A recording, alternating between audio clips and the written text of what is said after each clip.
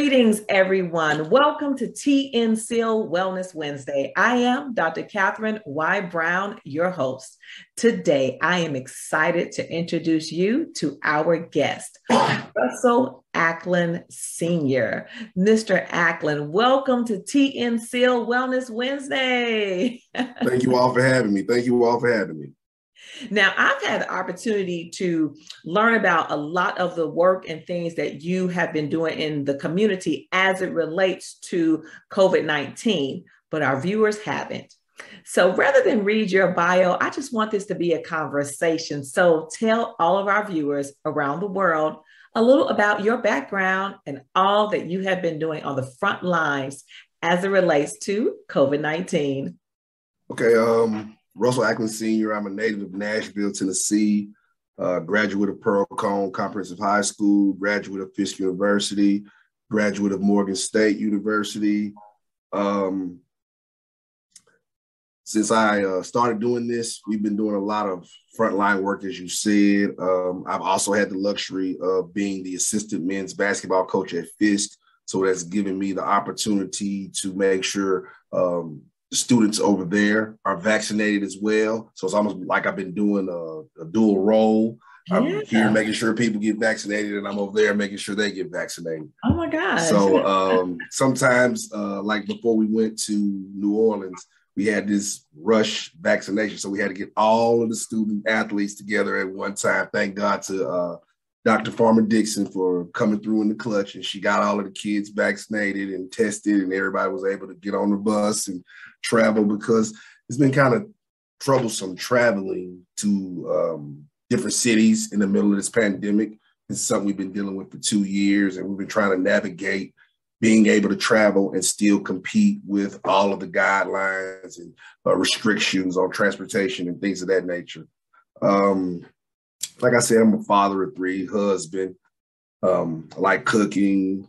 Um, anytime I can find some downtime, oh, yeah. I try to take it full advantage of it. But it's kind of difficult when you got an 18, a 14, and a nine year old. It's not a lot oh, of downtime. You answered it because that was my next question. I was going to say, tell me the age. So you said 18, 14, and nine. Yeah. This is amazing, right? So you have to tell all of our viewers how did you maintain a balance between family life, health, and then also the work that you were doing in the in the community? Did you see that? I mean, how did this all impact you from the family lens versus the role that you play in the community? Because people forget that just because you're on the front lines in the community doesn't mean that you don't have a family who you are also on the front lines for. Um, I just try to keep in mind to stay as flexible as possible. Okay. Um, and I flash back to just a day ago. Um, my son's at karate. Uh, my wife's about to turn 40 and she wants to go to the beach. So she has to get this beach body together. So what do we do? While the son's at karate, we go to the gym and ride the bike for five miles real fast for 30 minutes. So we get done with that in 30 minutes, pick the boy back up, back home. So I mean, it's just you got to learn how to maneuver and use the technology that we have available. I mean, most situations right now aren't ideal; they're not. But you still have to find a way to maneuver through what you need to get done. Absolutely. So, what do the words community mean to you? Because you're in the community.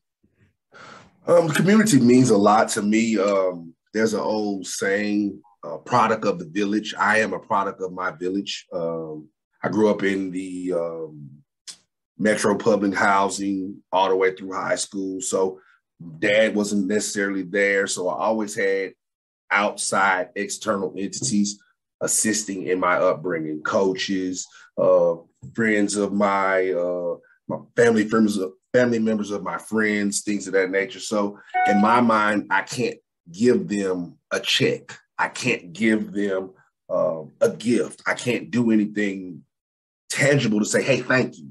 Mm-hmm. So the mm-hmm. best way I know about going to do that, telling them thank you and letting them know that the work they put into me, I'm paying it forward is by working in the community, getting in the community, getting my hands dirty. Um, as a member and a graduate of Fisk University, um, we have a responsibility to go out and try to change the world. As um, Dr. Du Bois um, came up with the theory of the talented 10th. That's something that's always looming in my head that I'm a member of the talented 10th. It's my duty to go out and change the world. It's my responsibility to go out and try to make things better than they were the generation in front of me. So then the generation that comes behind me, all they have to do is pass the baton to them and then they pick it up and they keep on running.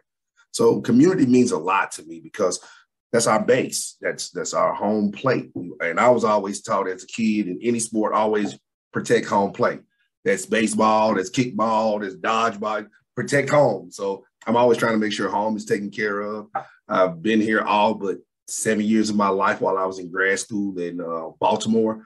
The rest mm-hmm. of the time I've been in Nashville. I've seen it grow. I've seen it start out as boot scooting boogie, and now they're talking about giving us a Super Bowl. So, oh. hey, I mean, certain things that we have to put in place to make sure the community is able to be taken care of. And uh, my boss, Dr. Smoot, always harps to me, Russell, make sure people know and feel that they can trust coming to Meharry. That's mm-hmm. how it used to be back in the day. So now we're fighting, doing everything in our power to get people back to the notion that, hey, Meharry is a trustable entity to get your health and wellness taken care of. Absolutely. So, you know, we've been in this thing for a lot longer than what we ever could have imagined, imagined right? So, what is the message that you want our viewers to know? They're watching this episode different times, different time zones, but as it relates to COVID 19 and just being healthy, what is the message that you want to share? Um, to quote one of my uh, favorite groups coming up, Public Enemy and Flavor Flav, don't believe the hype. Um, one of the things that I never thought I would spend as much time as I have while working on this was displacing myths. There are mm-hmm. so many myths that are dropped like bombs, and once they're dropped, then there's no taking them back. Mm-hmm. And people's minds get warped by these myths, and they get in their heads that this is the actual reality of the situation, and it's really not. See, like right now, most people think we're out, we're in the clear, everything is great. Hey, we can go back to normal. And we're not even at 60% total vaccination across the state yet. So it's a lot of stuff that I think if I could tell the viewers to go ask questions, contact somebody you know, or contact Meharry, contact uh, the health department, contact people who actually are in the trenches dealing with this and not just go by hearsay. Mm-hmm. Um, I was talking to my daughter yesterday, and her and one of her classmates were trying to diffuse the situation, and we were telling our daughter, if you get in front of it and tell the person the truth, then you have less to deal with on the back end. Mm-hmm. So with this situation, hey people, if you get in front of it, ask the people who know the truth, then we don't have that much to deal with on the back end. Like most people don't know, um, there's still variants that we don't know about fully in circulation right now. Mm-hmm. But everybody thinks, hey, we got the mask mandates taken off. We can go back outside. Yeah, it's a party. Let's go. No, you still got to be safe. Still mask up. If you haven't been vaccinated, go get vaccinated.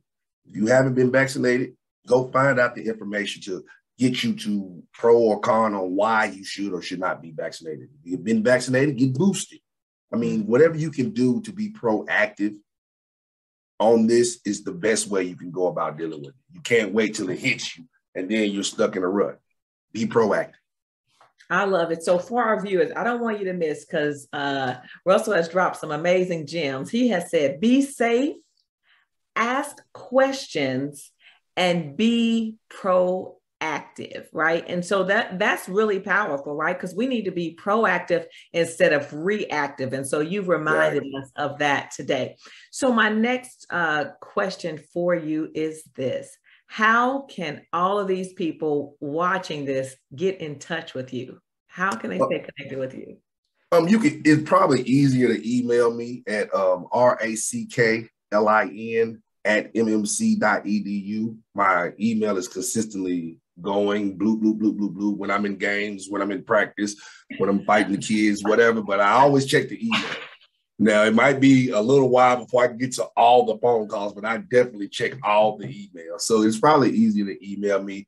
Hey, I'm a I'm an open book, man. Anytime you want to talk, I have my whole house has been vaccinated, boosted. So I got every age bracket you can think of if you want to mm-hmm. talk about what symptoms they had, what symptoms they didn't have, whatever, etc. Um, I've gone to at least 50 vaccination events in the past year. Oh my goodness. That we set up ourselves. Oh, so yeah. I've been there where I'm the only person in the building that can't speak English. And I just do this. Mm-hmm. So whatever info is needed, I'm here for you. All right, very good. So, listen, the last question is really an easy one, and it's all about you. Is there anything else that you would like to share with our viewers? Uh, if you get a chance, come out, or not necessarily come out, but if you get a chance, go over and just check out some of the things that are happening over at Fisk. Um, you'll be surprised at the growth of that university right now. Sometimes I feel like it gets overlooked because it's just in such a small, quaint, quiet little corner over there. Mm-hmm. But that school has so much rich, rich history and legacy behind it. Like the average person doesn't know, it's the oldest institution of learning in Nashville. Mm-hmm. Nobody knows that. So I mean, it's little gems like that that you can just stumble across, and it might fuel your fire or get you over the hump to see about. Okay, let me take on this challenge and things of that nature. Um, other than that, I always remember people. It could be worse. No matter what your situation is, it could always be worse. And if it can always be worse, then you have an opportunity to fight through what you're dealing with. I love it. Thank you so no much. No worries. Thank you guys. Thank you. Here. I mean, yes, and we definitely have to have you back. So for anytime. our okay, now you all heard it. He said anytime. So I'm gonna take him up on that. so for our viewers, around the world. We want you to share this message and join us back next week for another episode of TN CEAL Wellness Wednesday. You don't want to miss it. Until next time, stay healthy, stay connected, stay informed. I am Dr. Katherine White Brown, your host, and I will see you next time. Thank you again, Mr. Acklin. Thank you.